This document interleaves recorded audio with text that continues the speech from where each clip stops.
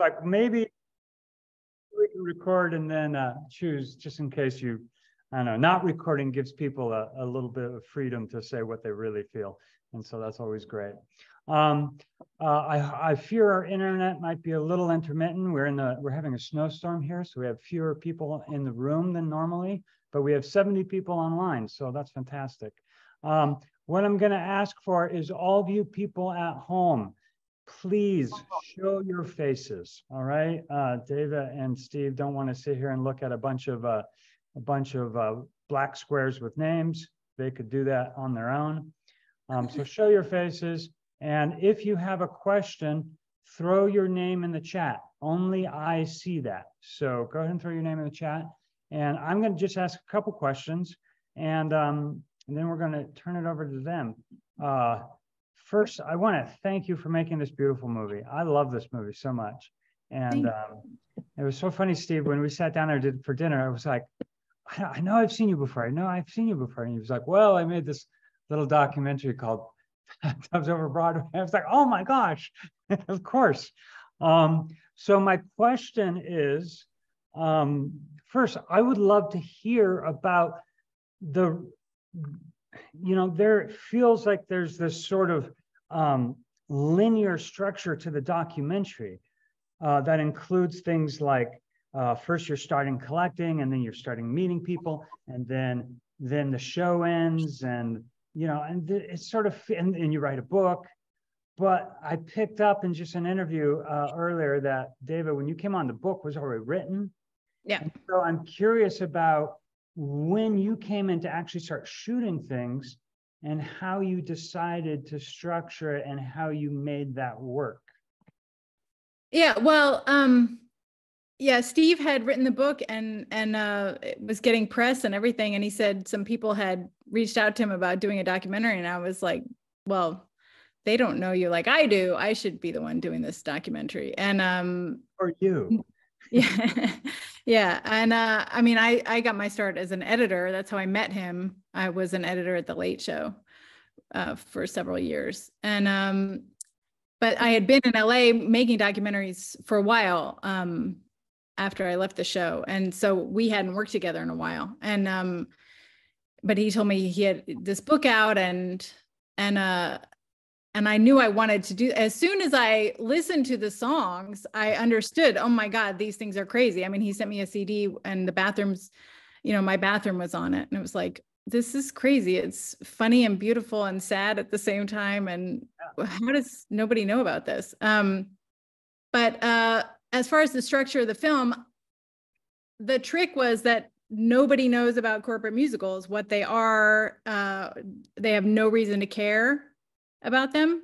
Yeah. And so I thought, well, let's just take people on the same journey that Steve went on. And that's to make fun of them, which we all do at the beginning, and then to dig into is there what's what's really what else is going on here? And that's so that's why I structured it that way. It was like I want people to go on the same journey that he did into falling in love with the people that made these.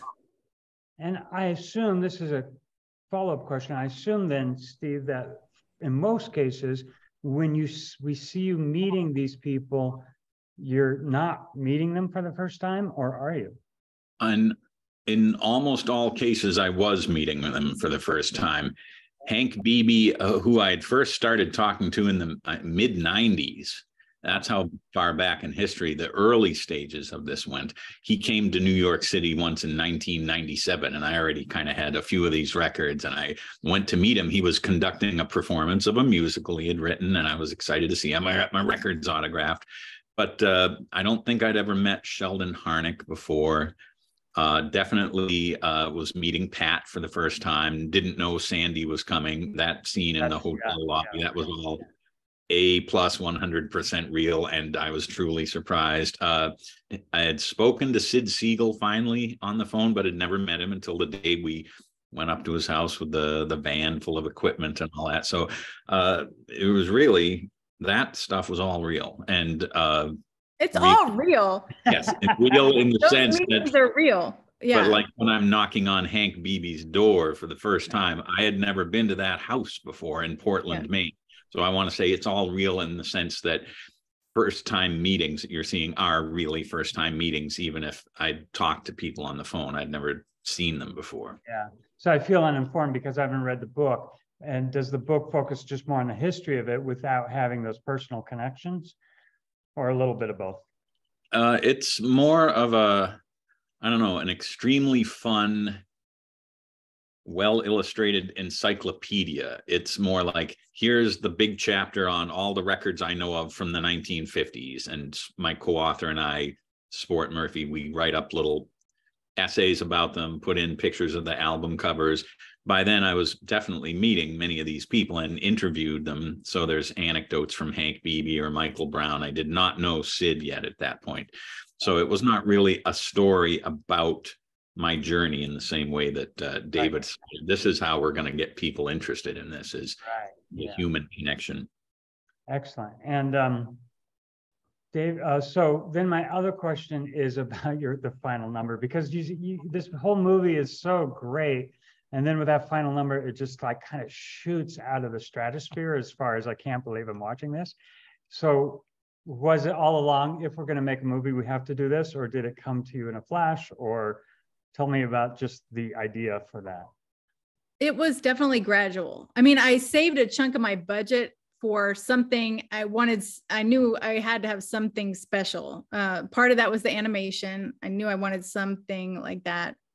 Um, but the finale number, that kind of came gradually as as I realized that so much of the story, uh, like when we started, I didn't really understand that it was going to be so much about him meeting these people and connecting to them like his right. heart and finding like a new path in his life. The, i didn't know the show was going to end like not i didn't you know um, so it was it was little things like he would get teary-eyed when he would talk about the composers um, telling them that their work mattered that kind of stuff uh, all that it would start like this is what this is about you know?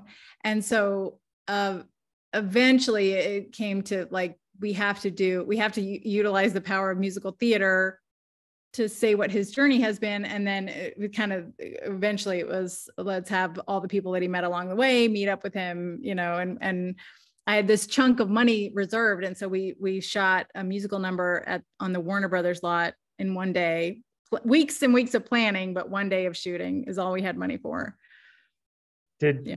and Dava did you present that idea to Steve how did Steve? How did that? Uh, do you remember? I I just want to emphasize to everybody: I am not a filmmaker. I had no decisions about what was going to happen with this movie. I had zero creative control except for writing songs, the, the two original songs. So Dava would say, "I think we should do this," or "I want to do that," and I felt very confident that it was going to be great because I knew her and knew her work.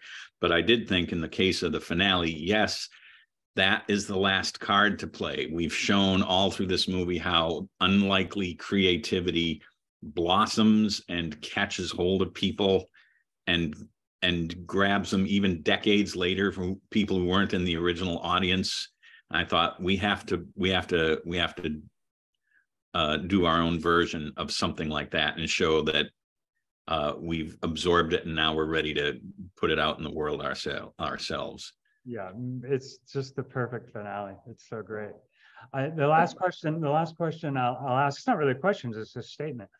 I want to, I want to give a, uh, a comment about Jello Biafra, who I, who I love, not just from the dead Kennedys, but I love because I'm a San Francisco guy.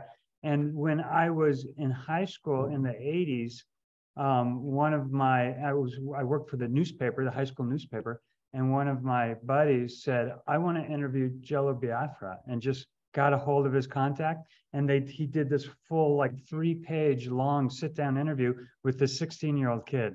And I just mm-hmm. thought from here on, Jello Biafra. Awesome.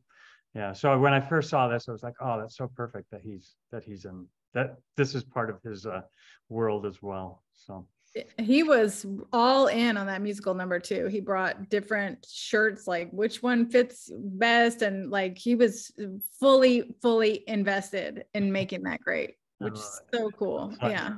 Yeah. I just love that this whole saga brought me in contact not only with people like composers and Hank and Sid and Michael Brown, but suddenly I'm hanging out with punk rock guys, and I I'm I was never a punk rock guy myself, shockingly, but suddenly like we're we've got this eye to eye connection on something very strange, but we like Don Bolles also another person. I should not know this person, let alone be friends with him, but like yeah, it turned out these beautiful friendships all over the the compass were just like blossoming from genuine curiosity that brings people together. And it's really, I mean, again on a tangent, but it's really going to you, Dava. One of my favorite things about making documentaries is how kind of deeply connected you become to a subject that is so specific and so so uh, new. You know, I loved uh, Two Trains Running and just the idea of like floating in that world with those people and how uh, you know how how that is in your own how enriching it is to your yourself as a filmmaker absolutely. That is the number one thing i love about documentary. Yeah. Yeah. Okay we got some great film students here with questions. If you guys who have questions want to line up here i'm going to start with dakota. Dakota wrote me a, a note even when i was setting up saying can i ask the first question? So dakota where are you thanks. Hi. Hey. Hey there. So I'm a senior here at UVU, or I'm I'm going into my senior year uh, in the cinematography track here at UVU. Um, I watched Two Trains Running, obviously Bathtubs Over Broadway, and I'm a huge fan of, of, of both of your works. Um, I, I, mostly had a question, I guess for both of you. It was mostly directed towards Steve, because um, clearly the subject matter of the film is this very, very specific niche interest and throughout the film as we get to know and become more involved with it the way that he was uh, towards the end we basically see that it becomes like financially lucrative. It becomes something that's generated like profit and success within your life. So i basically had like the question how would you recommend to other filmmakers? Like how do you take such a like niche idea of something that you're so passionate and love? What steps can someone do to turn those kinds of things into like lucrative outlets in their life Hmm. Uh, I wouldn't say that the the whole collecting biz has been terribly lucrative. I, I, hmm. did start going out and doing one man shows where I would show the film clips and sell a little merch, and that was fun and it made a little money. And uh, I, I, hope to continue to do that. It was kind of on pause with the pandemic, but uh, I guess, uh, Dava, this is more of a question for you ultimately. Do documentary people pick subjects because they think this will make money or you just think i got to do this and money making will be secondary because i wouldn't know how to think about that. I didn't get into my hobbies because i thought they were going to be monetized. Right. I i think steve and i are really similar in that we just it was you know it was like for me it was this documentary needs to be done. Nobody's done it before.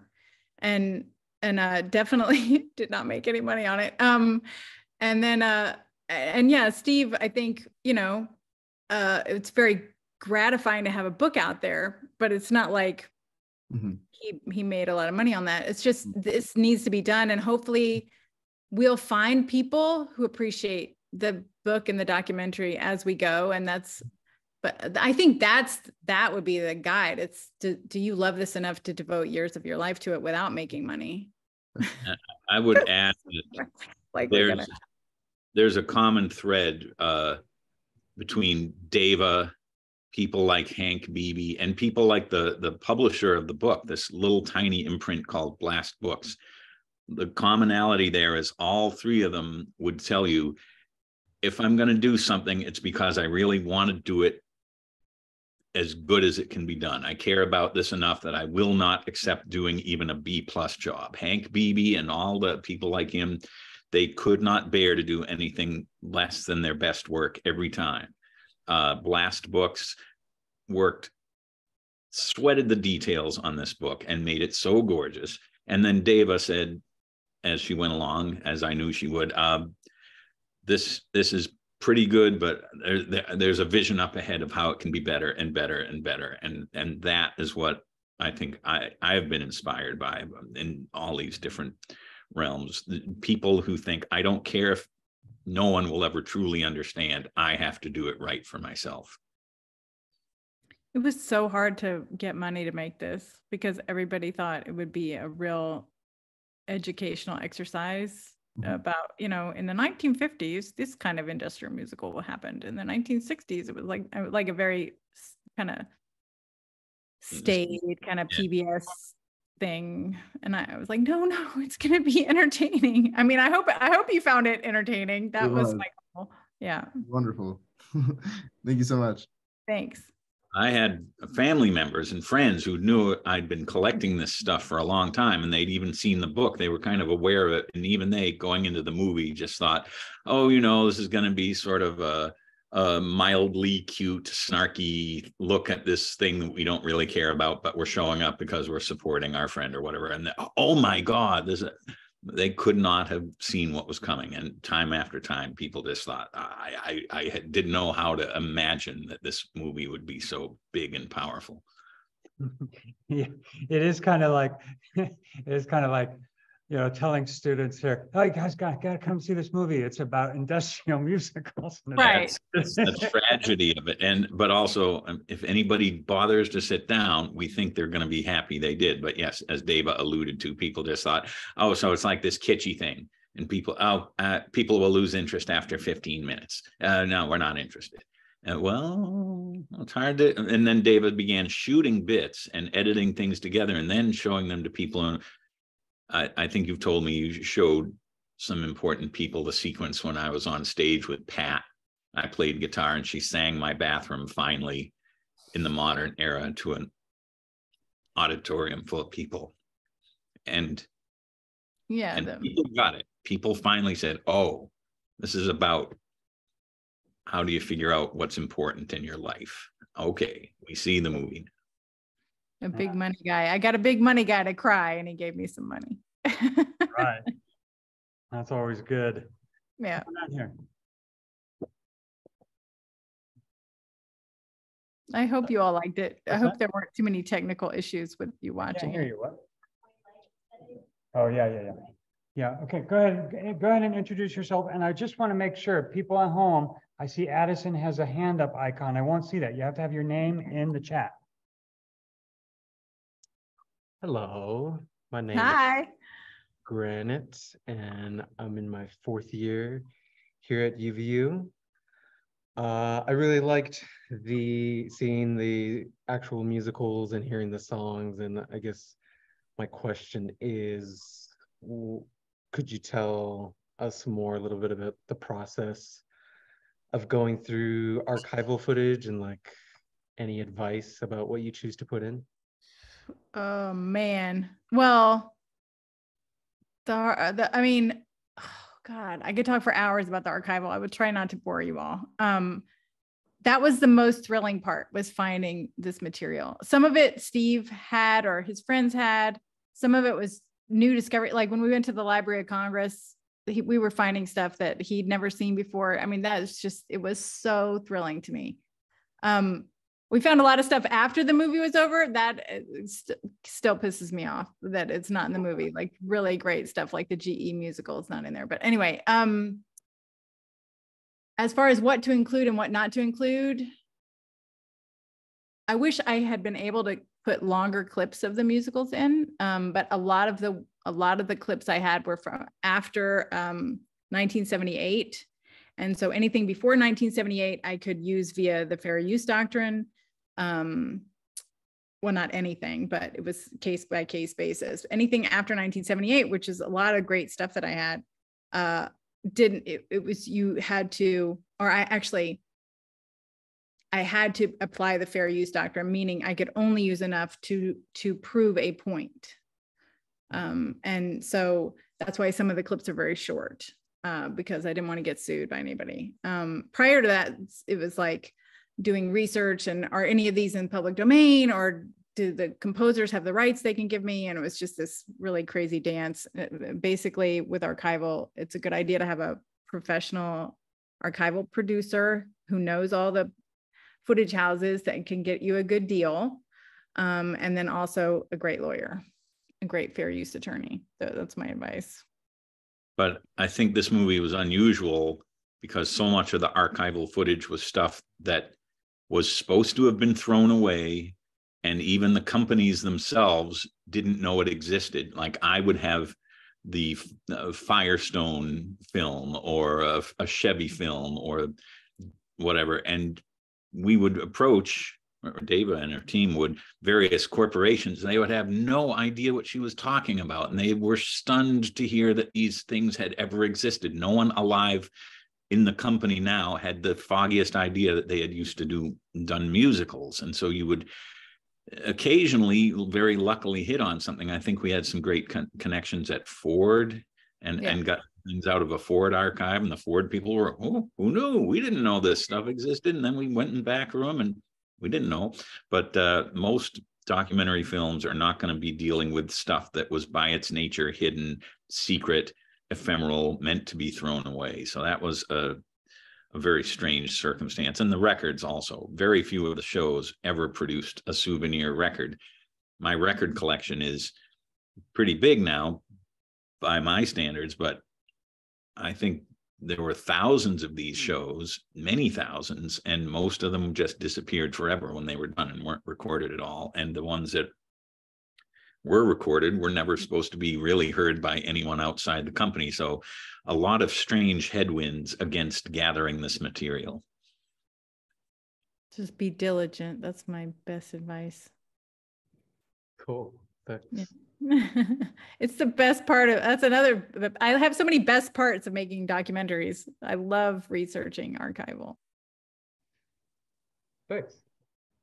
Excellent. I, I, I just, you know, as I was watching, I was thinking, um, uh, that, you know, when you're a theatrical Broadway actor, the worst thing you can have is a show that closes right away. You know, and I kept thinking about these guys doing these shows, knew they were performing one night only sort of shows and how interesting that was. Okay, we were going to hear from Chip Baldwin. I believe. Chip? Hey. Hey Chip. Hi, this one's for you. So, um, I was just wondering, like, when you're making a documentary on like this scale, like, what is the biggest logistics obstacle you come across? Um well it's funny because it was it was really actually a small scale film. Uh, um, I wore so many hats uh, because I had been an editor before. Um I could edit it myself. Uh as far as the biggest logistics problem, um it was really just keeping enough funds to to be able to keep doing shoots. Um so when I did but you know when I didn't have money, I would just shoot it myself. So if there's anything in there that doesn't look so good, that's probably something I shot. Um, yeah, th- that was it. it was, I, I don't, I don't ask people to work for free.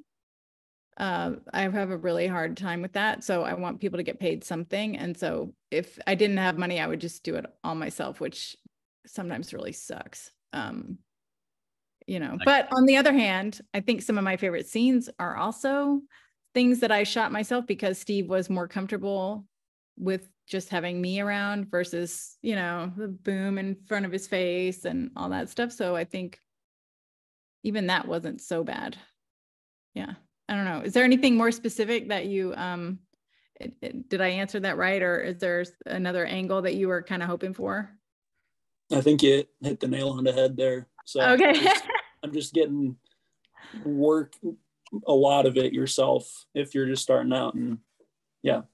It Okay. was very much a, a homegrown thing for a long time. Like when I said to Dava, "Oh, I'm going to be in Chicago. I have this uh, business thing to do, but I'm also going to try to meet Pat when I'm there." And she said, "Well, I guess I'd better get there with my camera." And so suddenly she was uh, there and capturing these incredible moments, and also, uh, "Oh, I'm going to do this show, and I'm going to bring her out on stage." Well, I guess I better get on a plane right now with my camera and and and thank God she did because these are uh, crucial moments in the film, and they were basically done by you just like I think bought an airline ticket with points from your credit card and say, well, what else can I do?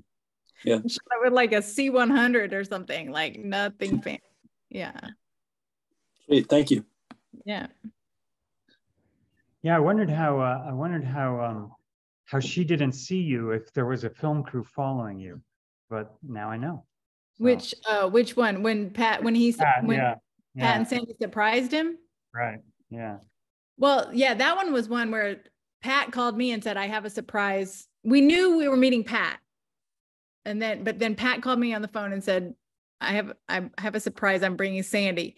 And I was like, oh shit, I did not bring enough microphones for it. But I was like, okay, we'll just do the best we can do. And I had a great DP that day and she's good with Verite. And I was just, I said, whatever you do, do not indicate to Steve anything that's going on. We're just following him.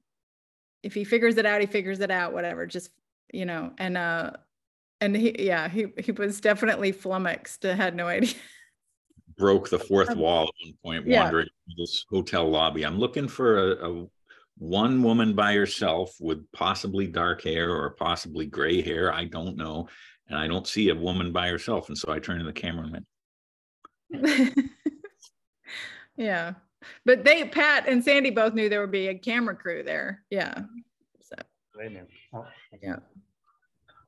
Hi, um, I'm Chad. I am in my second year, I think, and uh, I'm in the editing track. Uh, right now, currently, I do a bunch of marketing work.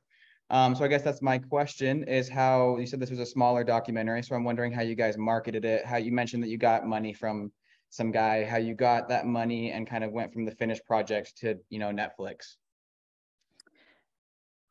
Uh, well, it was, um, at first it was me paying for it, which don't do that. Um, try not to do that. Don't use your own money.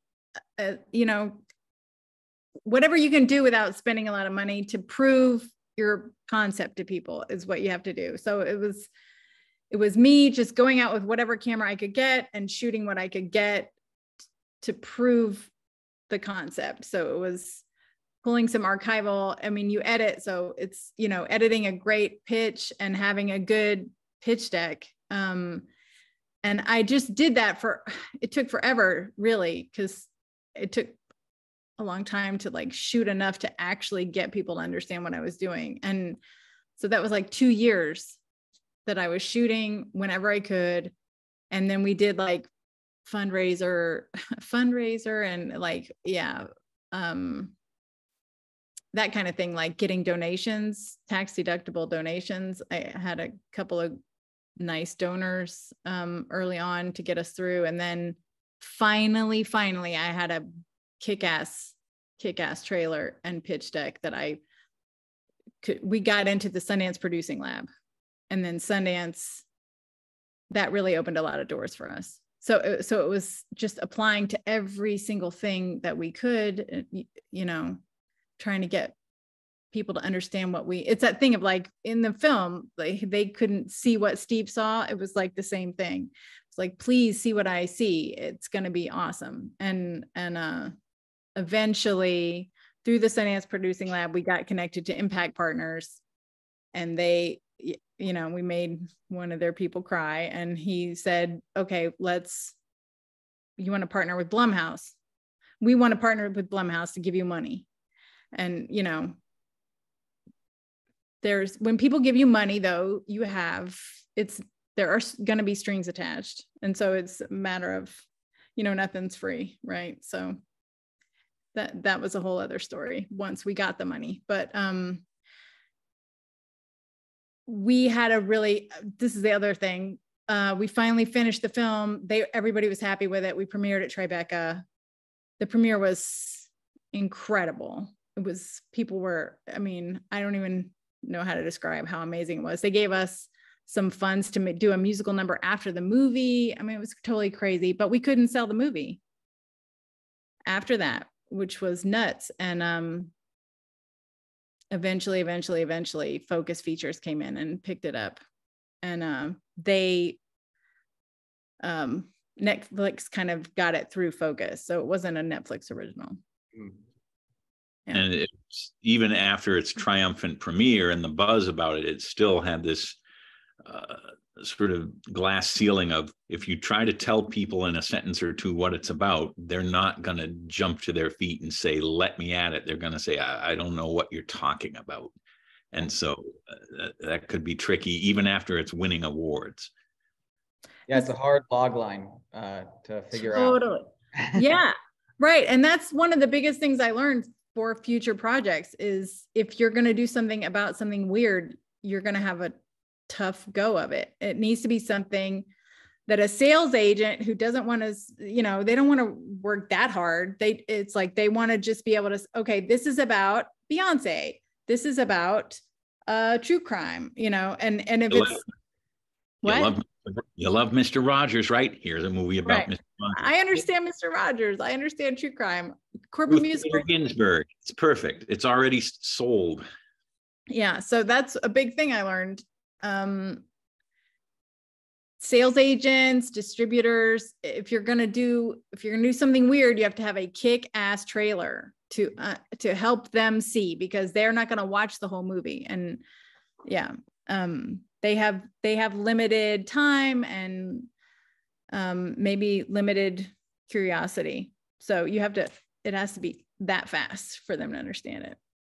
Big lesson. Awesome. Still, I'm glad we did it the way we did it, but Thank you. yeah. All right, we have Jack. Hello, uh, I'm Hey, Jack. Um, this is uh my first semester in the program. Um, uh, well, first off, I just wanted to say thank you guys for all the work that you've done to uh, bring attention to this incredible work, and I think it's uh really something special. Thank you. Um, and then uh, I was just curious. Well, I I was really surprised to see, uh, you know, not one but two uh, punk rock icons in this, and that they're like such uh, huge fans of these industrial musicals. Um, and uh, Stevie mentioned how you had connected with Don Bolles, but I was just curious uh, how you met Jello Biafra. Yeah, that's that's quite a while ago now. I think it was probably over 20 years ago. I think it was another record collector who I somehow had met in New York. I would go to record shows and talk to people and try to find out if anybody knew what I was talking about, which was very, very difficult. And then somebody said, Oh, yeah, you know, I think I've you know, I've got a couple of those records. You know, who has some really weird stuff is a friend of a friend, uh, Jello Biafra, you know, Dead Kennedys. And I very, very vaguely knew what that was. I did, I had not come up through any of that music, but suddenly I'm on the phone with him and seems like a great guy. And we're talking about stuff. And he, at some point came into New York City and hey, can I come over to the Letterman show and hang out? Sure. Yeah, sitting in my office in the afternoon, and somebody later said, was I hallucinating or did I see Jello Biafra in your office today? What is up? I said, it's hard to explain, but yes, we're friends for a very oddly specific reason. Yeah, but he is a very uh cool guy, very passionate, and uh and uh, of course the records is just a tiny sliver of of of what he's up to. So I, I feel very very gratified that he would want to ever hang out with me because he seems way too cool for me. All right. Well, uh, thanks for uh, thanks for answering my question for being here tonight. Yep.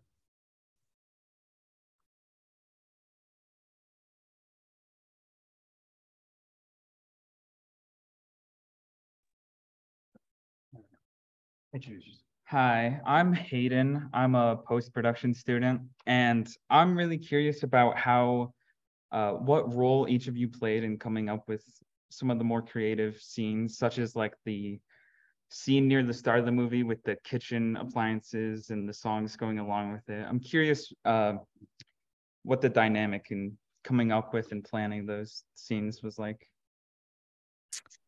Well, we, I had always had this idea in my head of, I wanted people to understand that there was um, this kind of other force that was acting on Steve, like helping him see this stuff that other people weren't seeing. And so um, at first, I, I guess I was, I was, I had this image of him being in Times Square and like all the brands were kind of surrounding him, whatever. But then it, it was like, no, we have these great appliance songs. It's like he wakes up in the morning and he's got these things in his head, and like he doesn't understand why they're, you know, still in his head after all this time. They were supposed to be just dumb little corporate songs. Why are they still there? And so it was like, let's make the music notes be the kind of magic that um that surrounds him and and and infects his brain. And so uh, that's how they eventually they became this little motif that it's like the the earworm, the you know the magic that gets in his head that that finds him. Like they found him, even from the beginning of the movie. They kind of come out over an aerial of New York and wind their way down to the Late Show and find him and circle him and yeah so it's like it was like uh they needed someone to find them Yeah. And this was all Dava, as, as I was saying. uh, I was not coming to her with pitches for what should be in a movie. A documentary subject does not do that unless you're, I don't know, some fabulous pop star who gets to control what's in the movie. That is not cool in the world of documentary, from what I've come to understand. So uh, I was along for the ride on this, although uh, I was thrilled number one with all these great things that were happening. And yes in my real life i'll see something somewhere and that will remind me oh look at that junction box from the ite corporation. I happen to know that girl uh, gould inc. merged with ite in the 70s and then i'll start singing one of the gould songs and i'm just a crazy person. But uh, i was allowed to uh, be in on the creative work for the opening song and the closing number because part of the process is I've come all the way down here. What if I'm sitting next to Hank Beebe and we're now collaborating? And to work on a song, you see me get choked up in the movie. Uh, this long saga cul- culminates with hi- him and I working on something together. It's just mind blowing. And we've written other songs together, and and we're we still are in touch. He's 96 years old. I was up visiting him in Maine a couple of months ago. So uh, that side of the movie, I did get to put my uh, put my toe in the water of creativity, but mostly it's it's just Dava with her filmmaking artistry, and I'm just trailing after. Well, and you also brought your personality in such an interesting hobby. So I think that's what helped make the film so great. oh yeah i mean eh, yeah it would have been a totally other thing if it was just about corporate musicals without steve and his passion for them and finding them in these dusty record bins all these years later that's that's the magic yeah But it took a while with your samples that you were editing together before producers and funders understood that.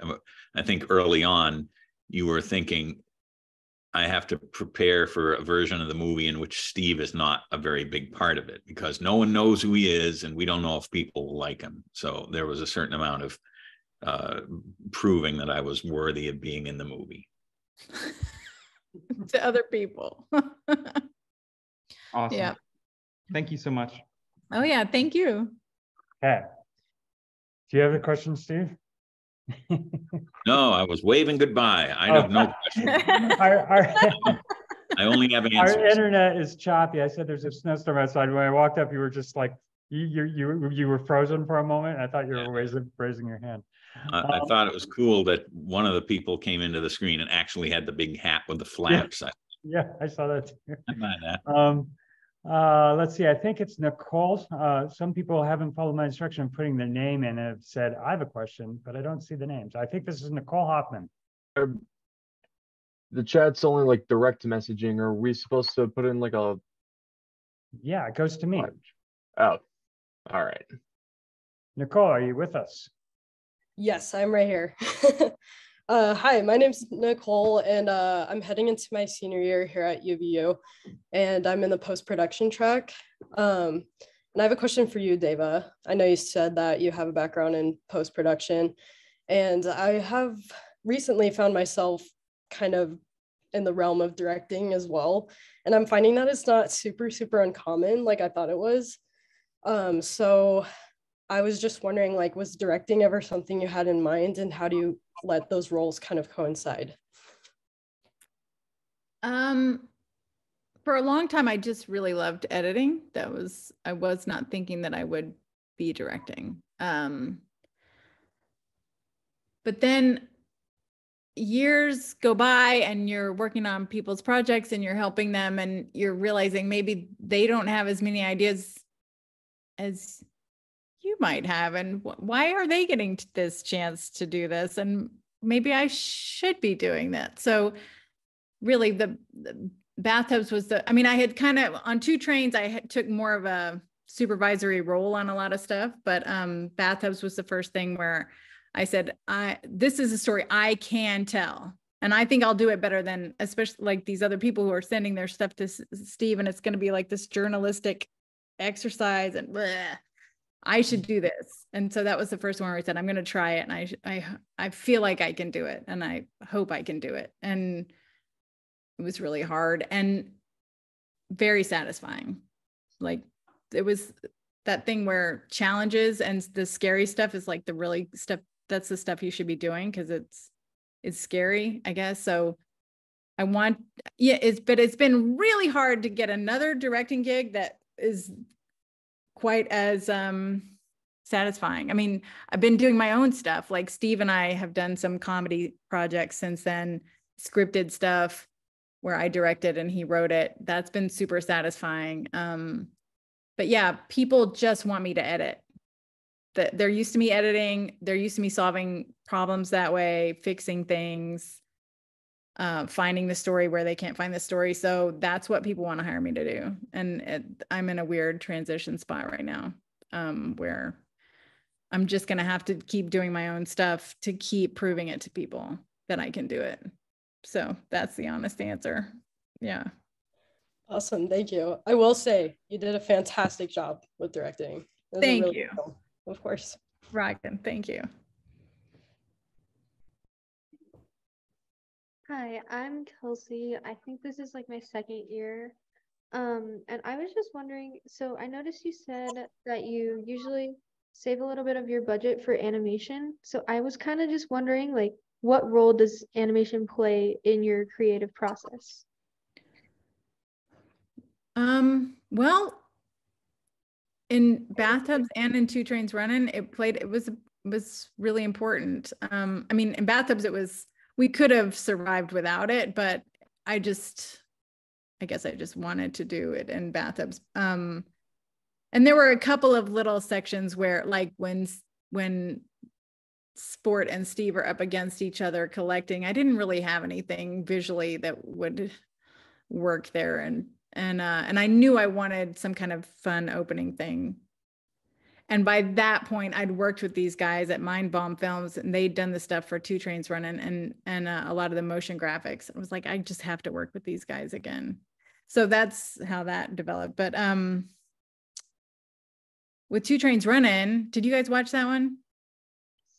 It um, we had so much footage of the civil rights era, but we had nothing of the blues guys going to the South to try to find these blues players who may or may not be dead. And and the the one guy was a photographer, but all of his amazing stills uh were destroyed in a flood, like in his attic, and all water damaged. We couldn't get and salvage any of them. So it was like we have nothing from that whole part of the story so we have to do you know it could have been reenactments i guess but i told the the main producer i i loved the stuff in searching for sugar man and the way they did animation and he was like well just call those guys so i did and so they did it i mean it was crazy yeah um but uh i think it's it's always weighing what you know first what really floats your boat and what you really need for the story. That's yeah. Is that a? a- I could probably go into it more if you wanted, um, No, but okay. my question. Thank you so much. yeah, thank you. Okay. Let's see. Um, Chip, you already asked, I see Janelle, I think it's Janelle. For some reason, Zoom kind of cuts off their names. and from- Yes, Janelle Christensen.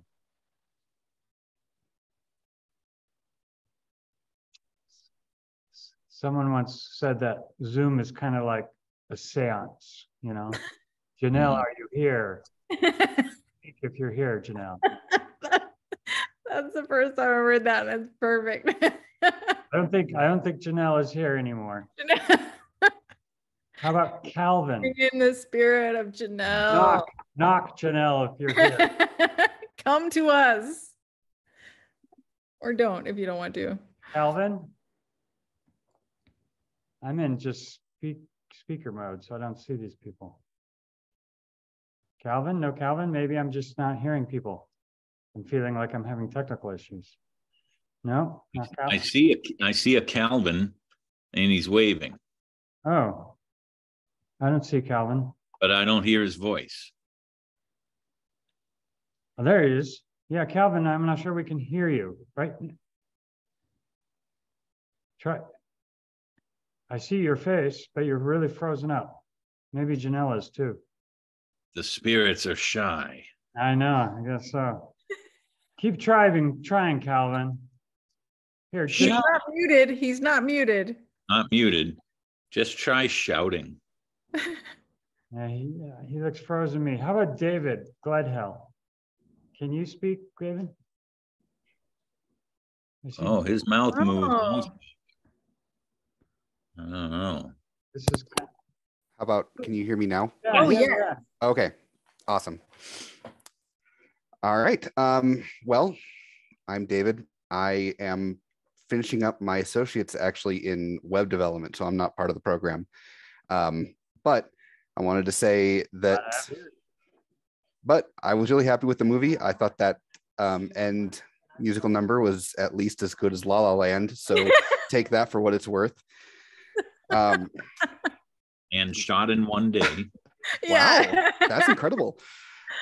Um, my question is for Steve, but Dava, you can answer too, obviously. Um, was there anyone that you were really hoping to be featured in the movie, someone that you were trying to track down, um, that just for whatever reason was not possible? Uh, without Mhm. going into names, really, I will say that the enduring stigma of being known as a performer or composer who spent a lot of their career in this particular shadow world uh, made some people reluctant to even talk about it. And there was an interesting divide. The superstars, Florence Henderson, Chita Rivera, they had they weren't worried anymore about oh no we don't like them because they're those people. They they had graduated out of that worry and they were ready to talk at length about these shows were actually fantastic. This was a list people up and down the line it, florence henderson said and i don't know i don't think this was in the movie but she said those oldsmobile shows i did i would put them up up against anything that was on broadway. They were that good yes, they were about Oldsmobiles, which is crazy. But there were other people who were not that famous who, even decades later, were very worried that if this is associated with them, that their their careers could be damaged if it's oh that's too bad that actress we were considering hired hiring apparently she's done a lot of those uh corny crass uh, disrespectable industrials we don't so people were still worried about that and there were a few people we approached who uh hemmed and hawed and then withdrew That's a real shame. Well, Thank you. Yeah. but there were people who are in the movie who had some misgivings about it swallowed hard did it and then saw the movie and felt like oh my god a weight has come off my shoulders now the world finally understands and we're not being made fun of almost everybody i approached over the years they hear a letterman writer wants to talk to you they're worried they are about to be made fun of and it took a while for me to make people understand i'm not here to mock you yes, at first we were making fun of the records on the show. I've graduated past that. I'm curious now. I have great respect for creativity that blossoms in these strange outlands. And I want to find out more about how you did it and what it meant to you. And then people finally got it and relaxed. And that's the the spirit of the movie is it, it takes a long time sometimes to feel okay about these weird things you've done with your life. And hopefully you don't need someone else to validate all of it, but it feels really good if you're 80 or 90 and someone says, I love that thing you did. I know not many people understand it, but I love it and I want to ask you more about it. That made a lot of people feel great. Well, that catharsis was really what made the what made the documentary happen for me. So thank, you. Thanks. I will say John Kander was one that we really wanted from he he did cabaret and everything and and he I he just it just never happened. But he also did an amazing GE musical. It's like phenomenal. Yeah. Anyway, okay. Okay. Uh, hi. Um, thank you guys for taking time out of your schedule to talk to us. We really appreciate this. Uh, my name is Perry. I am in my third year here at UVU, and I am in the post-production track, hopefully editing.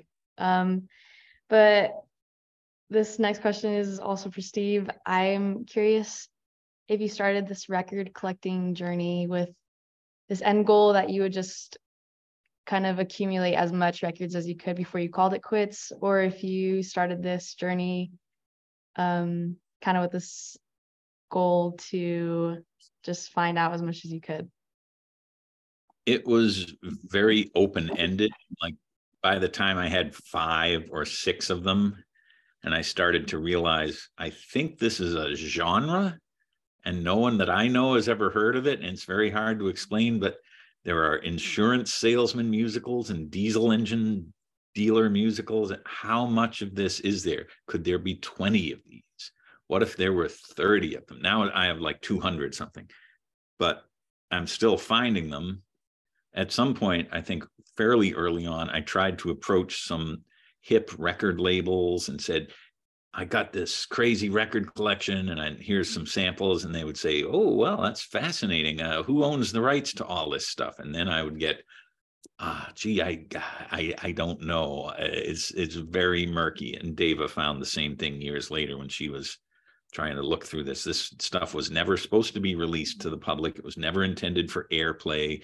Some of it was copyrighted, some of it wasn't. It's all over the map. Very, very hard for an amateur like me to figure out. So I just, all right, I'll just keep collecting the records. And then my friend Sport said, I know some people who have this cool little publishing company. They might like this. They do these weird hidden history books. I said, that would be the ultimate. That's as much as I could ever hope for. And the book took a couple years to get done and it was great and i felt uh, relaxed like all right that can be the end now. But then Dava said i don't think that's the end because of all the stories you're telling me about the people.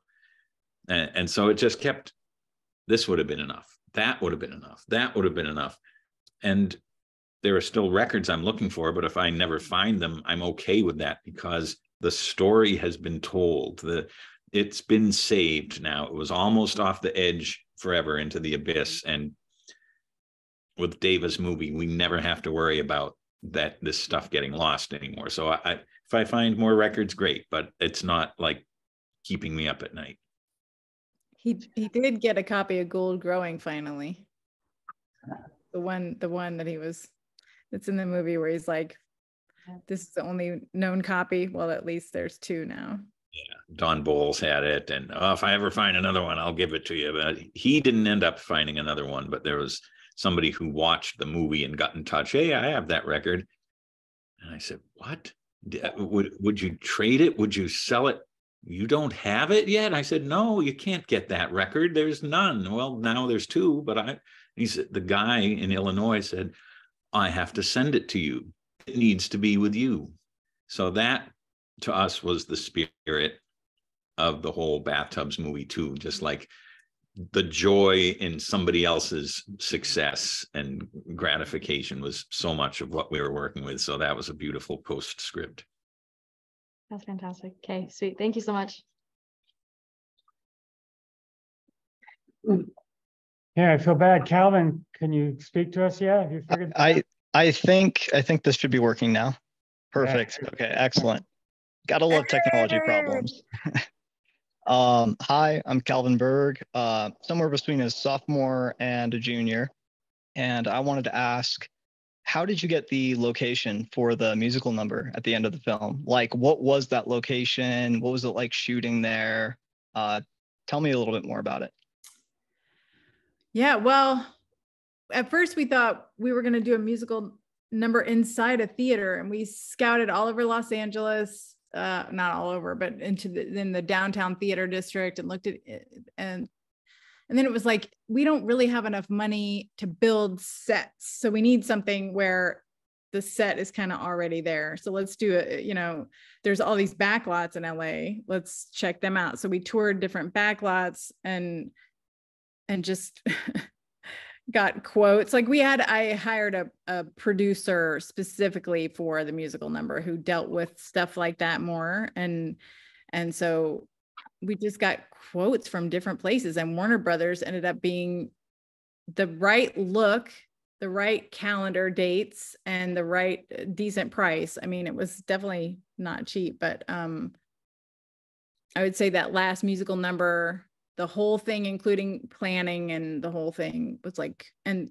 you know, Techno Crane, like the whole was like the biggest crew we had on the whole documentary over 4 years of filming it it was like a hundred thousand dollars to get that whole that one you know one day shoot but like you know it's a tractor and it's coming you know um costumes and the whole thing. So that was yeah that was um I was just going to add, we had a friend who had a connection to vintage car enthusiasts, and Yeah. suddenly people were volunteering to bring in their 55 Chevys and 63 Corvettes and all that, and lining the streets with something that was so beautiful and powerful and evocative. Like, uh, and I pointed out to Dava at one point, you have a, an archival clip of a 55 Chevy being assembled, and it's the like 50 millionth GM car coming down the line. And there's one of those exact same models on the street in the finale. And I know we didn't plan it that way, but there were those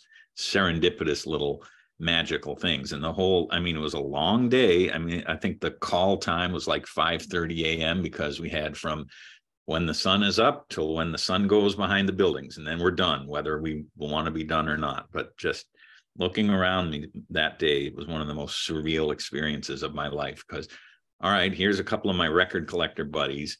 Here's two punk rock legends.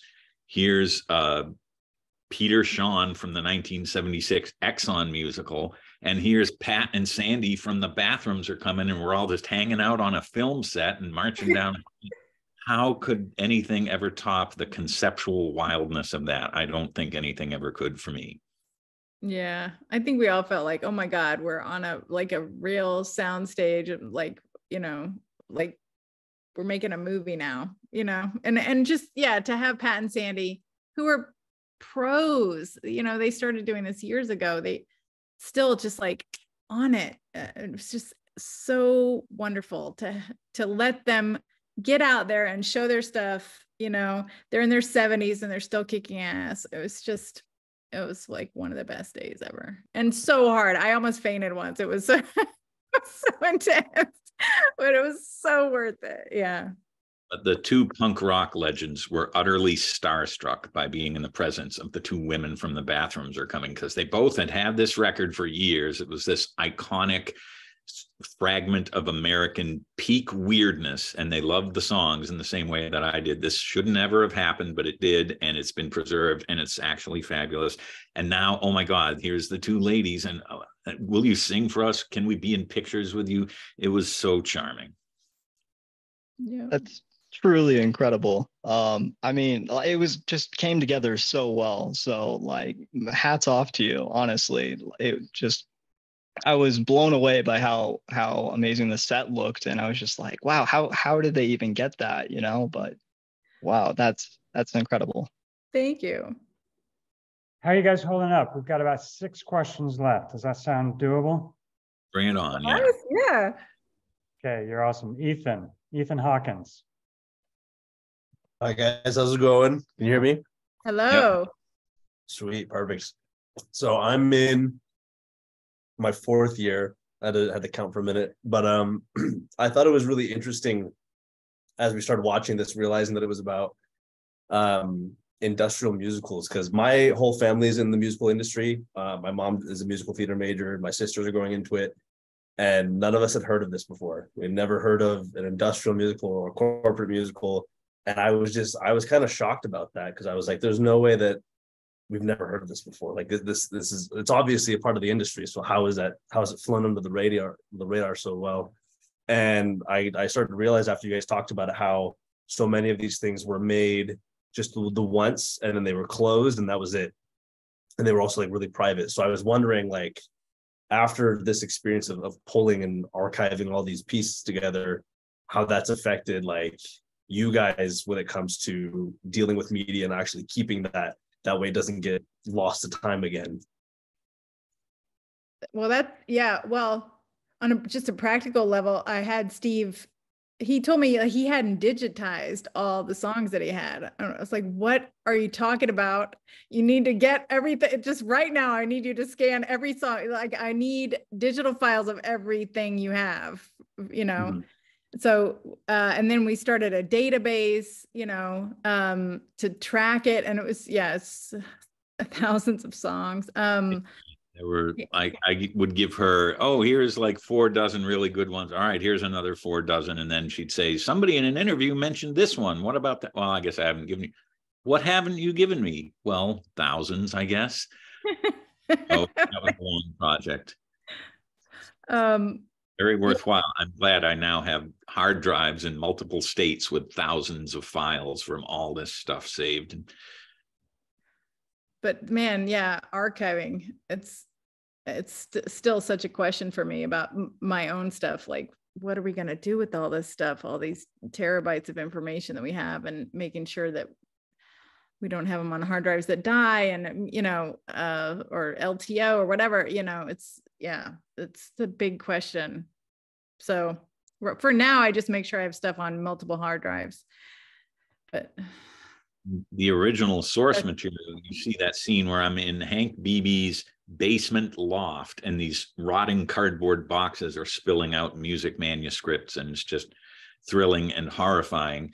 He and his family have uh, put everything in sealable plastic bins. So they've at least sort of upped their game with preservation. And all these families now know all right, we're not going to throw away dad's stuff because we understand that in a way that we wouldn't have before that it is part of a history that people now care about so uh, again the feeling like relief that all right it's not just all going to end up in a landfill uh, plenty has over the years gone into landfills but we have enough that we, we kind of know the picture sweet perfect yeah i lost i lost a couple of scenes from like an old short film like years ago digitally and i was like heartbroken to that. And so I was always just curious how everyone manages to to archive and keep their stuff alive now. So sweet, thank you. Yeah, it's a big question though. Seriously.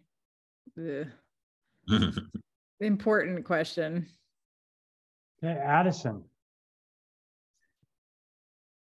Hey, so I'm just wondering, how is creating an animated series or like a cartoon different from making something live action? Um, well, the animated stuff takes so much pre-planning, you know. Um, I mean, I guess live action scripted stuff does too, but um for two trains, I I kind of wrote out what and this was kind of wild that the the director I was not the director of that film, but uh, they kind of charged me with supervising the animation. Um, so I wrote out what I what I needed the scene to do, and then we storyboarded it first, and then did animatics. Um, and so and then it's and then a lot of like layout style kind of things to see like what style does the director want and that kind of thing and then finally it's all just like nailing down okay, this is the look he wants. This is the storyboard and the animatic we're doing. And then they kind of go to town, but it, it, it, um, it's really time consuming, especially those guys. They worked in, they were from Sweden. Um, they did, it was all hand drawn. it took, it took so long. It took so long. Um, there are other houses uh, like there was we had to eventually take some of it to a house in burbank and they they had a much quicker process but it wasn't hand drawn it didn't look as quite as beautiful but um yeah i think it's at least in documentary where you don't have lots of budget it, it's just trying to do as much storyboarding and animatics as you can with the so you're you know you have this audio of what you're doing and kind of get as close as you can before they really start doing every frame. Does that By the way, answer your forgot to- Yeah. By the way, forgot to introduce myself. Addison Nuttall, set entering my third year of here going into the writing track. Incredibly passionate about cartoons specifically. Oh, So right yeah. Cool. I hope that, that I answered your question somehow. At least for for me and what I have been doing in documentary, that's how it's worked. Yeah. Like yeah. Also, is there a way to like see these things like online? Like, have you put a lot of these? Have either you put a lot of these songs or these videos online, or at least the ones that you legally could? Yeah. Yeah. There They're is out a beautiful, uh, very lengthy soundtrack for the Bathtubs movie that you can get either digitally or in a deluxe two disc vinyl set with a big uh, gatefold album and liner notes and behind the scenes photos and notes about all the tracks that I wrote up. So, music, uh, for the most part, we were able to get what we wanted for that. Uh, the video the visual elements, the films and so on, we keep fairly close to the vest.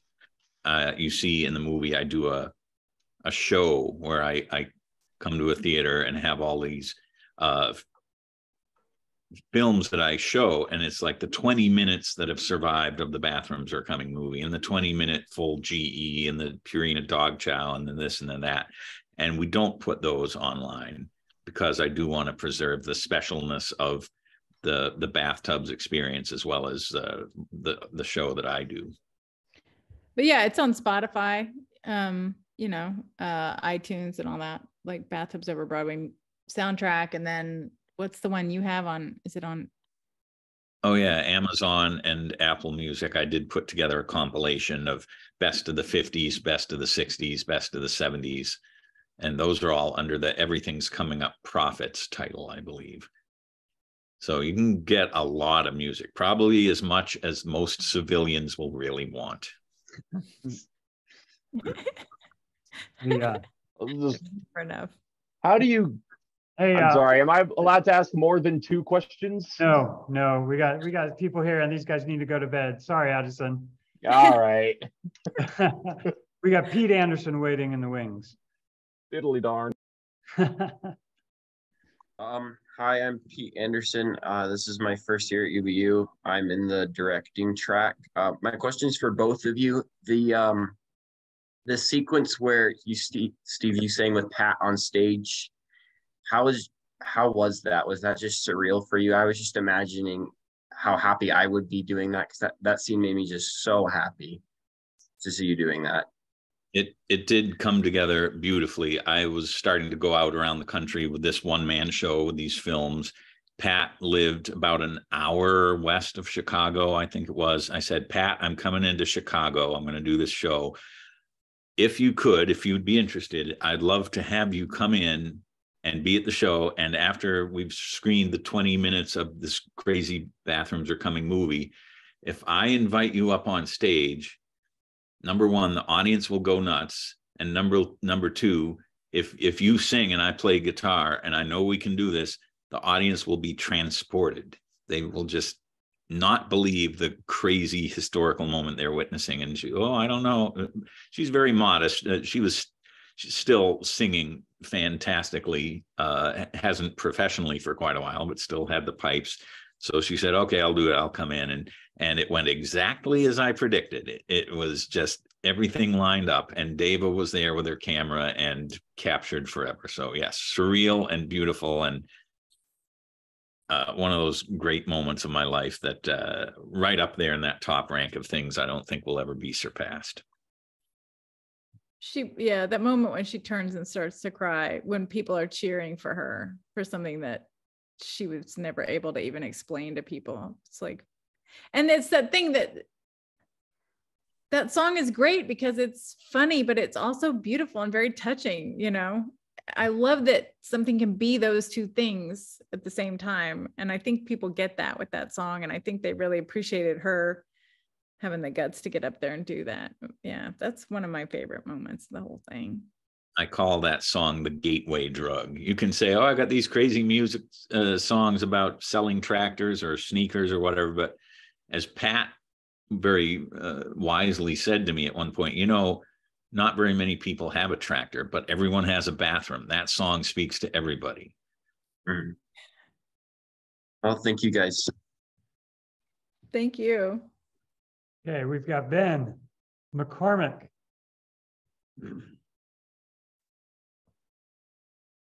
No, Ben, I know he wants to ask a Where to question. Ben? Come forth. What would Ben be likely to ask if he were to? ask? Uh, I know. he- What's your favorite color? oh yeah, that's totally Ben. Uh, purple. Yeah, if you know, if you, oh, same by the way. If you know Ben, He's which I waving. don't, I by see the way, Ben- but if you Ben is know one. Ben, that might maybe be something he'd ask. All right, hi Okay. Ben. Good Ben see you. waving. Can you hear me now? Yes. Ben, we, we don't have Ben, right? Or we do? I see him. He's here. waving. Yeah, we hear, he, we can hear him. He's Okay. alive. Okay. So first off, I, I did I did I did want to say I really did like the documentary, but the one thing that stood out to me the most that really drew me in was um how was like the parts of the hobby that you guys showed. How did you guys ultimately decide which parts of the hobby to show? Like for example, you guys talked about how like oh we'll like trade records or whatever, but you didn't really go go down that rabbit hole. Like you guys focused on only particular parts of the hobby. What kind of made you guys decide which parts to show in the documentary?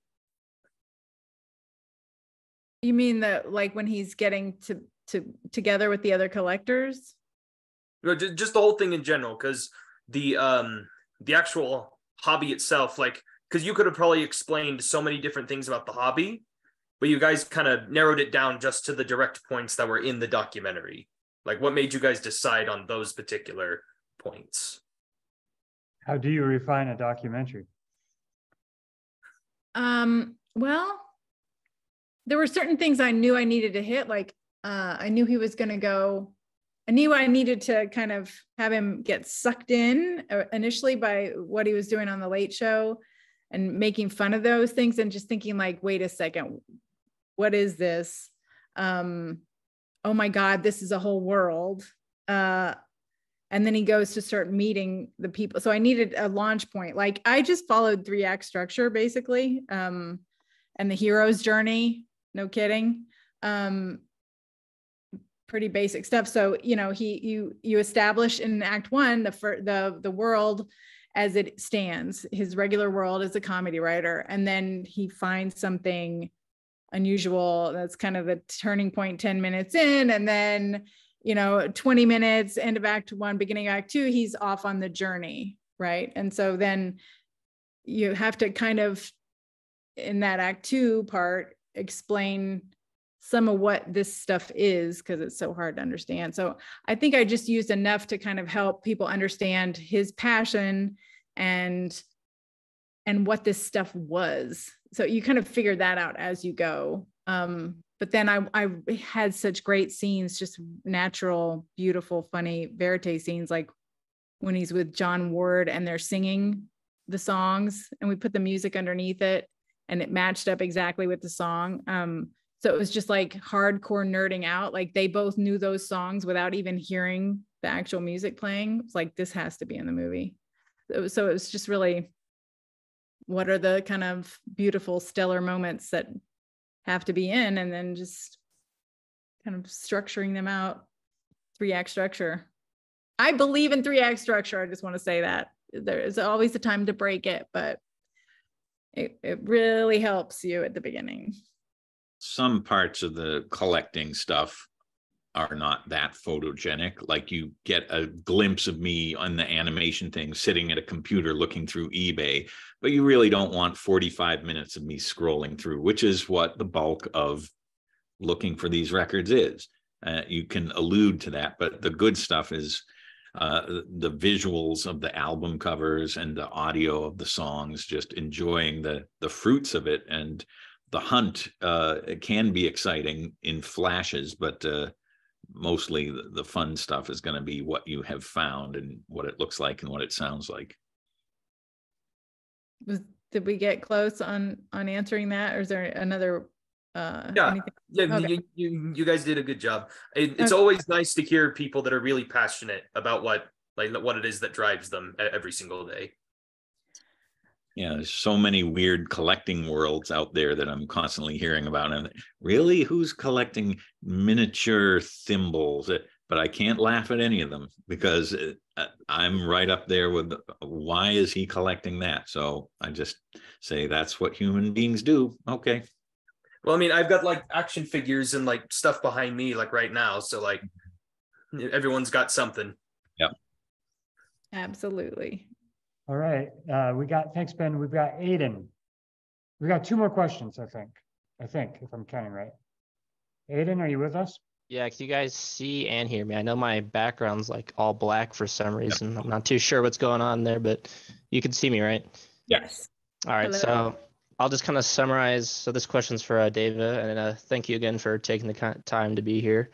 my Uh, pleasure so I wrote it down. Basically, like when like coming up with like an idea for a documentary and like going out and making it, is there ever like a like the struggle between like trying to like you know like do due diligence to like whatever the idea is, but then getting like carried away with making it like too creative? You know, like is there like a balance between like originality and then like if it, that gets in the way of like what you're trying to like I guess like tell people? I think that's a really good question. Um, and I think I think there's a lot of pressure when you're trying to get a film off the ground to be proving to people that you're, you know, this is going to be a groundbreaking film and we're going to use visual techniques that nobody's done before and everything. That's all cool as long as you tell a good story. So if people have to be sucked in, they have to be engaged all the way through. You can't be doing that stuff, in my opinion, you can't be doing that stuff just to be cool or fun uh, uh, or or just self-indulgent, I guess. To me, it's the story first and and and the, the visuals support that, right? Like um I wish I'd had better cameras and better lenses and everything to do this movie, but I didn't. So I used what I had, and and I think the story comes across. Um, so I guess that's what I would say. Uh, I see I see people get trapped in the style thing where that's the number one um most important thing to them that's uh, but you know that's cool do what you want but to me it's story first story first story first. Yeah. Suck people in. Like why are you making films? I, I to me it's to connect with people. Um i guess other people would just want to like this is who i am or whatever. That so do do that. That's cool. But to me i want to connect with people. I don't know it's like yeah that's it. Yeah, that's a good answer. Thank you. thank you All right, we got our last question from, Ce- so I think, I'm, yes, Cecilia. Yeah, sorry, my name is different on the thing. Hi, my name is Cecilia. I'm in my third year. I'm in the cinematography major. I my question was kind of answered with everybody else, but I was just wondering how many like hours of film you actually had towards the end of everything, and how is you as like an editor like tackle that? Like, how do you even like look at all that information and be like, okay, this is where I want to start the story. yeah it, it can be really overwhelming. Um how many hours? Well we shot over the course of three four years. Um there's a ton of archival footage uh probably i don't know i should have done the hour tally. How many interviews do you think we did steve? Like Uh, tons- tons there were there were some people who didn't make it into the movie that we interviewed. There were lots of scenes of me going places that didn't make it in, or you only see for five seconds out of a three-hour shoot or whatever. But I know you told me at one point uh, that you had enough good material to make three movies. Yeah. Um and I had I had also interviewed experts like somebody told me, "Oh, if you want a eh, Eh, National Endowment of the Humanities grant, you have to in- interview experts. You have to have experts in your movie, like PBS style. And so I interviewed those people, and I did a cut where I did a first act where they were in there talking, and it was like, this is not the movie I want to make. This is like so. It's like the broccoli, you know, to the like chocolate cake. I'm not doing that. So I ripped them out and I used them as background. They're good information for me to have. I'm glad I interviewed those experts, but they were so boring on in the actual film. Not in real life. They're amazing, but just it sucked out the energy. Um, there was a second part to your question. It wasn't just how many hours. It was, oh, how do you figure out what to what to use? Um, the one thing I know when I start a big editing project and I have so much material and, it feels really overwhelming, I just tell myself, you just start with the the scenes you love. Like when you're watching footage and you it's just like, oh my God, that's amazing. That's amazing. I take notes on all the stuff that I've, you know, when I first watch it, it's like, that is amazing. That's a cool moment. I write all that stuff down and I start with those scenes. And I just tell myself, don't worry about the whole thing just just do these scenes that you know you love that are going to be good. And and eventually it all starts to come together. So that's the thing. It's just like don't worry about the whole movie just little scenes. And then it starts to happen. Yeah. And then outlining. I outline like a crazy person. I love outlines. It really really helps to whittle it down. Oh, thank you. yeah. Well, all right, guys. That was such a pleasure. So great to meet you, Dava. So fun to see you again, Steve. Yeah. Uh, it's such a great movie, and uh, I'm sure glad we had so many people here watching. And it's funny because uh, most of them are here. I just looked. I just looked. A few dropped off just in the past few minutes, but I looked and said, "Wow, there's still like 65 people watching of 70 that you know over." So, so you even compel you even compel people in a in a in a choppy Q and A. So. right on Perfect. thanks for having us Uh, and just let me know if there's anything you need edited out that you feel shouldn't be uh, published to the world. I'll give you a few days to think about that. All right. Okay, all right. Um, Thank you. yeah, and if you have questions about stuff, you know, please find me on the internet, reach out. I'm happy to answer questions. Uh, it's really nice of you.